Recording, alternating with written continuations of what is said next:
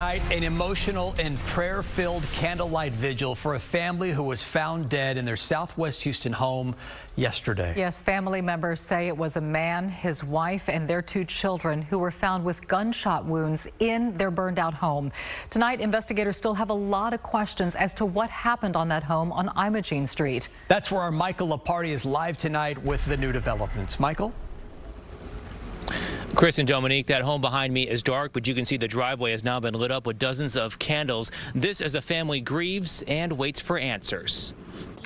Tonight, candles, pictures, and prayers to remember four family members found dead inside the Southwest Houston home over the weekend. It's a hardworking family. Oh Very working family. Paulina Moreno says the family members are her brother-in-law, Jairo Escanio, wife Elvira, as well as children Isabel and Jairo Jr. It was a shock, and I was driving when my husband called me.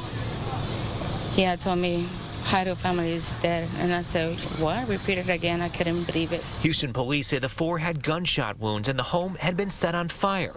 Relatives are struggling to make sense of what happened. They're so in shock. They, they can't believe it. They were joined tonight by friends and neighbors. I really came out here to pay my respect because, you know, there's some kids involved, so that's a really sad story. I really feel sad for that. Investigators have not said when the shooting took place.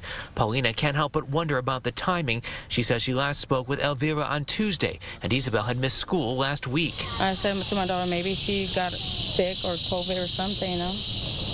But we didn't think that was this that happened. The family says Jairo and his wife worked at a flea market. The yellow truck, their work truck. Tonight, family and friends gathered just steps away to remember them. The family also told us that the wife's adult son did live at this home, but we don't know where he is right now. To be clear, police have not named a suspect so far. Yesterday, the chief said that he suspects this was domestic violence and believes it was not random, but the family says they have not gotten any updates from investigators so far. Reporting live in Southwest Houston tonight, Michael Loparty, KPRC 2 News. Mike.